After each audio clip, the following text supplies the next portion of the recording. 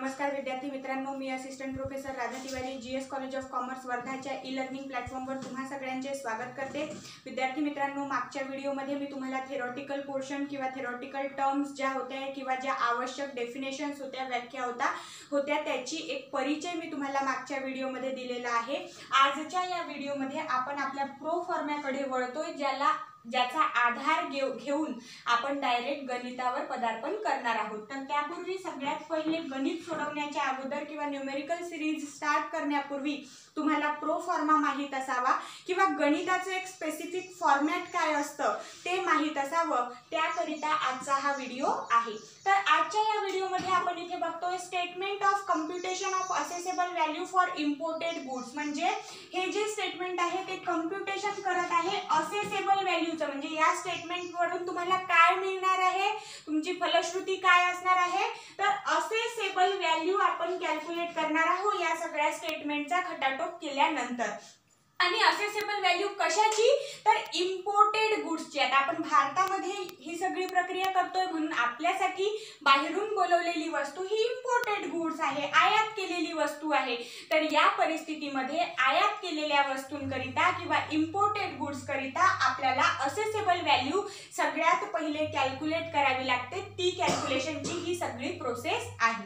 सगळ्यात पहिले आपण इथे जो ढाचा एक बनवलेला आहे की किंवा प्रो फार्मा नाव कसं टाकायचं तर ते लिहिलेलं आहे statement of computation of assessable value for imported goods मग इम्पोर्टेड गुड्सच्या असेसेबल व्हॅल्यूची कॅल्क्युलेशनची प्रोसेस काय आहे? तर सगळ्यात पहिले एक तक्ता बनवायचा आहे. त्यामध्ये पर्टिक्युलर्सचा एक कॉलम असणार आहे आणि इथे बघा मी अमाऊंट लिहिलेला आहे. आपण सहसा तिथे आजकाल रुपीज लिहिणं सुरू केलेलं आहे जर आपल्या अकाउंट्सच्या भाषेमध्ये बघितलं तर. पण तिथे मी अमाऊंट का लिहिलं? कारण हा प्रो फॉर्मा आहे. इथे ना मी डॉलर लिहून दाखवू शकते ना युरो लिहून दाखवू शकते. मध्ये आपण इथे काय लिहिलेलं आहे? अमाऊंट लिहिलेलं आहे. पण लक्षात काय घ्यायचं आहे की तिथे नेहमी परदेशाच्या चलनची रक्कम असणार आहे. म्हणजे डॉलर असेल अमाऊंटच्या ठिकाणी आपण गणितामध्ये काय घेऊ? डॉलर टाकू अमाऊंट युरो टाकू. या पद्धतीने तिथे वेगवेगळ्या चलनांचा वापर करू. ठीक आहे? मग आता सगळ्यात पहिले बघा. पहिल्या नंबरवर आपण या प्रोफॉर्मेमध्ये बघतो value of material or purchase cost हे थेरॉटिकल याच्यामध्ये पण आपण बघितलं आहे की एफ ओ बी कॅल्क्युलेट करत असताना सगळ्यात पहिले काय घेतो? तर व्हॅल्यू ऑफ मटेरियल घेतो किंवा परचेस कॉस्ट घेतो त्याची रक्कम लिहायची. मग कॅरेज फ्रेट अँड इन्शुरन्स जे मी तुम्हाला सांगितलेलं आहे अगदी चांगल्या पद्धतीने थेरीमध्ये carriage freight and insurance up to the port of export country हे तुम्ही सुद्धा जेव्हा तेव्हा तुमच्या याच्यामध्ये लिहाल म्हणजे तुमच्या वहीमध्ये हा प्रो फॉर्मा या व्हिडिओला बघून जेव्हा केव्हा लिहाल तेव्हा तिथे या एक्सपोर्ट कंट्रीला अंडरलाईन करायचं. कारण हा जो काही कॅरेज फ्रेट आणि इन्शुरन्स आहे तो up to the port of export country म्हणजे तिकडल्याच देशाचा हा सगळा व्यवहार इथे लिहायचा आहे. मग त्याची सुद्धा रक्कम लिहून टाकायची. त्यानंतर cost of designing cost of development cost of engineering of product outside of India म्हणजे जर ही cost of designing cost of engineering किंवा कॉस्ट ऑफ डेव्हलपमेंट जर तिकडेच म्हणजे त्याच निर्यात करणाऱ्या देशामध्येच जर ही सगळी बाब झालेली असेल आउटसाईड इंडिया झालेली असेल तर ती सुद्धा आपण एफ ओ बी व्हॅल्यूमध्ये कन्सिडर करतो. मग या सगळ्यांची जंत्री बनवून टाकली म्हणजे ॲड करून आपल्याला जी रक्कम मिळेल किंवा जी एक अमाऊंट मिळेल ती असणार आहे एफ ओ बी व्हॅल्यू म्हणजे प्री ऑन बोर्ड व्हॅल्यू ठीक आहे आता जे थेरॉटिकल अभ्यासलेलं आहे तेच आज आपण गणित कसं असणार आहे ते बघणार आहोत आता एफ ओ बी कसं आलं ते बघितलं एफ ओ बी व्हॅल्यू निघाल्यानंतर डायरेक्ट आपण चालतो C I F value calculate करण्याकडे तर सी आय एफमध्ये सगळ्यात पहिले घ्यायचा इन्शुरन्स आता सी म्हणजे कॉस्ट तर तिथपर्यंतच आपण आलेलो आहे मग इन्शुरन्स घ्यायचं. इन्शुरन्स कसं घ्यावं लागतं? तर one point one two five percent of F O B value म्हणजे ही जी एफ ओ बी व्हॅल्यू आलेली आहे याच्या एक पॉईंट एक दोन पाच टक्के इन्शुरन्स काढायचा आणि फ्रेटची पण काय अट आहे की जर जहाजाने वाहतूक झालेली असेल हवाई जहाजाने वाहतूक झालेली असेल तर किंवा काहीच सांगितलेलं नाही आहे स्पेसिफिक तर या तीनही अटी मी सांगितलेले आहे. जर बाय एअर ट्रान्सपोर्ट केला असेल तर twenty percent of F O B आणि ट्वेंटी पर्सेंटच्या वरती रक्कम जायला नको. जर शिपने म्हणजेच पाण्यातील जहाजाने जर वाहतूक झाली असेल तर जी काही रक्कम दिलेली आहे ती ॲज इट इज घ्या.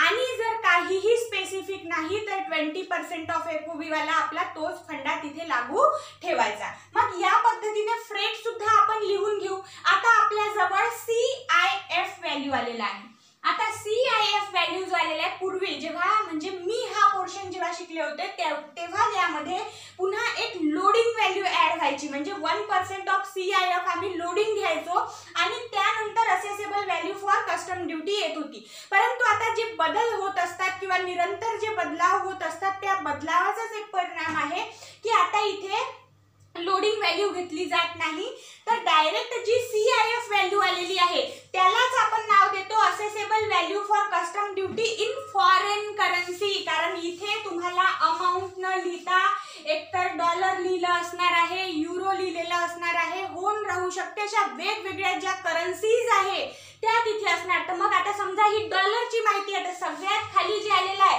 assessable value for custom duty in foreign currency याला सुद्धा अंडरलाईन करायचं कारण ही आलेली रक्कम जी आहे ती फॉरेन करन्सी मध्ये असणार आहे. मग फॉरेन करन्सी मध्ये आलेली आहे आता आपल्याला ती कशामध्ये कन्वर्ट करावी लागेल? तर भारतीय रुपयामध्ये कन्वर्ट करावी लागेल. तर ही जी काही रक्कम असेसेबल व्हॅल्यू आलेली आहे फॉरेन फॉरेन करन्सीमध्ये त्याला जर तुम्ही गुन्हेला इथे आता जागा नव्हती राहिली तुम्ही सुद्धा थोडं समजून घ्या की बोर्ड माझा छोटा आहे. यामध्ये मी प्रत्येक बाब तुम्हाला लिहून दाखवू शकत नाही.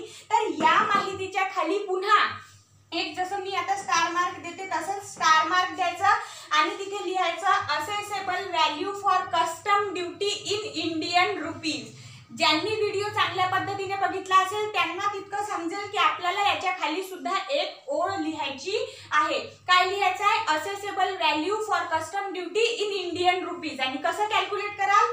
तर ही जी फॉर करन्सी मध्ये आलेली असेसेबल व्हॅल्यू आहे. याला multiplied by rate of exchange करायचं म्हणजेच तुम्हाला assessable value in Indian rupees मिळून जाईल.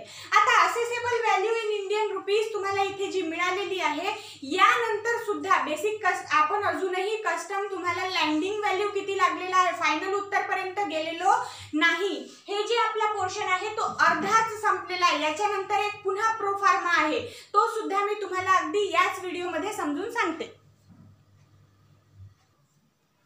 तर विद्यार्थी मित्रांनो आपण याच पार्टमध्ये मी मध्ये पॉज याच्यासाठी घेतला होता. कारण त्याच्याच एक दुसरा पोर्शन म्हणजे आपलं गणित पूर्ण किंवा प्रोफार्मा पूर्ण झालेला नाही. तर अर्धा प्रोफार्मा आपण समजून घेतला म्हणजे एक जे गणित तुम्हाला दिलं राहणार आहे ते दोन भागांमध्ये असणार आहे. पहिला भाग की तुम्हाला असेसेबल व्हॅल्यू कॅल्क्युलेट करावं लागेल आणि त्या असेसेबल व्हॅल्यू कॅल्क्युलेशनच्या नंतर मेन उत्तर असणार आहे. Computation of basic custom duty किंवा कम्प्युटेशन ऑफ लँडिंग व्हॅल्यू तर आता नेक्स्ट प्रोफॉर्मा आपला आहे. मी डायरेक्ट इथे फायनल म्हणजे सत्तर टक्के ऐंशी टक्के न करता डायरेक्ट शंभर टक्के जे उत्तर तुमचं असणार आहे. फायनल अल्टिमेटम कुठपर्यंत दिलं राहू शकते? तर लँडिंग व्हॅल्यू कॅल्क्युलेट करण्यापर्यंत आपण हे गणित सॉल्व्ह करू शकतो. म्हणून इथे computation of basic custom duty न टाकता मी हेडिंग टाकलेलं आहे कम्प्युटेशन ऑफ लँडिंग व्हॅल्यू आता कम्प्युटेशन ऑफ लँडिंग व्हॅल्यू कसं कॅल्क्युलेट करायचं किंवा कस्टम ड्युटी कशी कॅल्क्युलेट करायची ही पहिले आपल्याला समजून घेण्यासारखी बाब आहे. आता मागच्या म्हणजे इथे हा प्रोफार्मा कम्प्यूट करण्याच्या पहिले किंवा ड्रॉ करण्याच्या पहिले मी तुम्हाला assessable value in Indian rupees पर्यंत कॅल्क्युलेट करणं शिकवलेलं आहे. मग तिथपर्यंत आपण जे कॅल्क्युलेट केलं तर आता तुमच्या हातामध्ये असेसेबल व्हॅल्यू आहे. तर त्या व्हॅल्यूला धरून आता आपण समोर चालूया. बघा कसं करावं लागतं. कम्प्युटेशन ऑफ लँडिंग व्हॅल्यू तर सगळ्यात पहिले आपण कॅल्क्युलेट करतो कम्प्युटेशन किंवा सगळ्यात पहिले कॅल्क्युलेट इथे करण्यासारखी बाब असते बेसिक कस्टम ड्युटी आता ही बेसिक कस्टम ड्युटी आहे टोटल कस्टम ड्युटी नाही. तर बेसिक कस्टम ड्युटी कशी कॅल्क्युलेट केली जाते? तर इथे डॅश ठेवलेली आहे. पर्सेंटेज तुम्हाला गणितामध्ये सांगितलेलं असेल याची अजून एक चांगली तुमची तयारी जेव्हा गणित होईल सुरू तेव्हा होणारच आहे. पण लक्षात घ्या इथे डॅश का ठेवली? दहा टक्के असू शकते पंधरा टक्के असू शकते तिथे सांगितलेलं असेल. म्हणून चला दहा टक्के गणितामध्ये सांगितलेलं आहे. तर बेसिक कस्टम ड्युटी दहा टक्के असं तुम्हाला गणितामध्ये दिलेलं असेल. पण कोणाच्या दहा टक्के घ्याल तर असेसेबल व्हॅल्यूच्या आणि ही जी असेसेबल व्हॅल्यू आहे ती फॉरेन करन्सीची नाही. फायनल जे उत्तर आपण काढलेलं आहे assessable value in Indian rupees ती जी रक्कम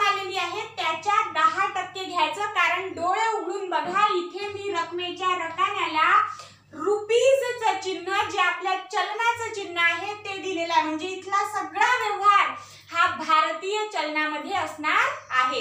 म्हणून असेसेबल व्हॅल्यू जी इंडियन रुपीज करिता आपण कम्प्युट केलेली आहे ती घ्यायची.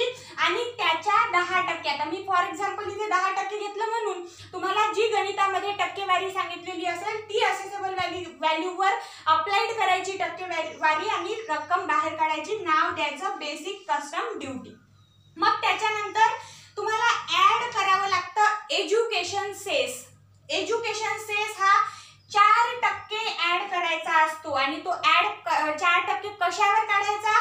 तर ही जी कस्टम ड्युटी तुमची आता इथे रक्कम आलेली आहे या रकमेवर. Four percent on custom duty म्हणजे आता इथे सगळे इथल्या इथेच खेळ चालणार आहे. कस्टम ड्युटी आपण कॅल्क्युलेट केली सगळ्यात पहिल्या याच्यातून असेसेबल व्हॅल्यू वरून कस्टम ड्युटीवर आलो मग कस्टम ड्युटीच्या चार टक्के काढायचं आणि त्याला नाव द्यायचं एज्युकेशन सेस मग आता बेसिक कस्टम ड्युटी आणि एज्युकेशन सेस या दोघांना क्लब करून मर्ज करून ऍड करून जी रक्कम तुम्हाला मिळेल त्याला तुम्ही नाव द्याल सब टोटल काय नाव द्यायचं आहे सब टोटल आता सब टोटल नाव दिल्यानंतर त्यामध्ये ऍड करायचं आय जी एस टी इथे सुद्धा डॅश सोडलेली आहे. पर्सेंटेज गणितामध्ये सांगितलेले असतील.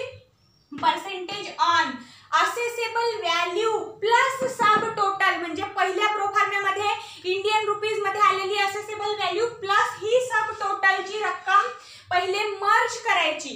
आणि त्यावर संबंधित पर्सेंटेज जे काही सांगितलेले असेल त्या पर्सेंटेज रक्कम काढून बाहेर लिहायची आहे. मी सगळं इथे शो केलेलं आहे. बरोबर व्हिडिओ पॉज करू करू हा प्रोफार्मा तुम्ही लिहाल.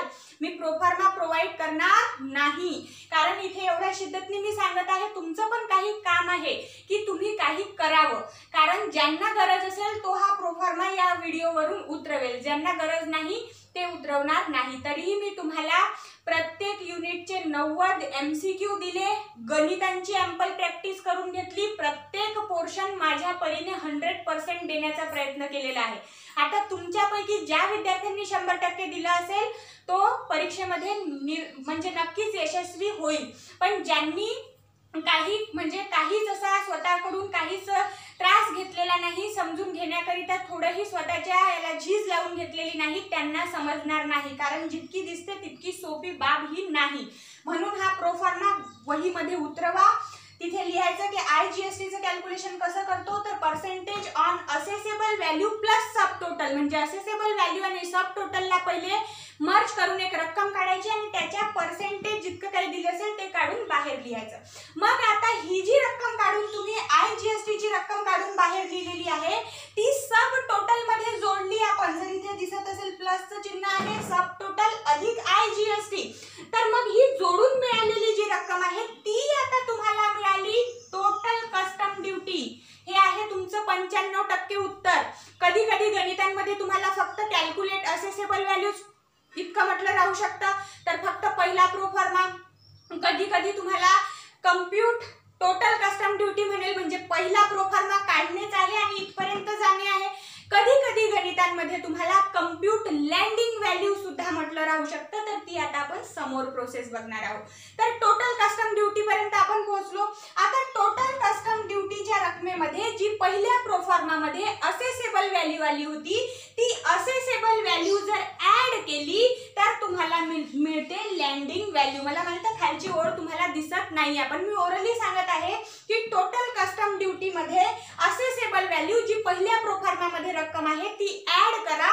या दोघा टोटल ड्युटी अधिक assessable value equal to landing value of particular goods असं असतं. तर ते वहीमध्ये सुद्धा लिहून घ्यायचं. ही खालची ओळ फक्त लँडिंग व्हॅल्यू इथे लिहिलेला आणि फुल्या दाखवलेल्या आहेत. तर इथे फायनल आता उत्तर तुमचं दोन प्रोफार्म्यामध्ये आहे. पहिलं तर आपण computation of assessable value for imported goods हा प्रोफार्मा शिकलो आणि दुसरा कम्प्युटेशन ऑफ लँडिंग व्हॅल्यूचा प्रोफार्मा बघितलेला आहे. आता यावर आधारित गणितांची सुरुवात मी नेक्स्ट व्हिडिओपासून करणार आहे. या थेरॉटिकलच्या एक व्हिडिओमध्ये म्हणजे थेरीच्या पोर्शनचा एक व्हिडिओ आणि प्रो फॉर्मॅच्या एक व्हिडिओमधून तुमची कल्पना तिथपर्यंत बनली असेल आणि त्या कल्पनेला अगदी झळाळी देण्याचं काम आपण गणितांच्या साथीने करणार आहोत. तर नेक्स्ट व्हिडिओमध्ये मी तुम्हाला मिळेल एका गणितासोबत. धन्यवाद.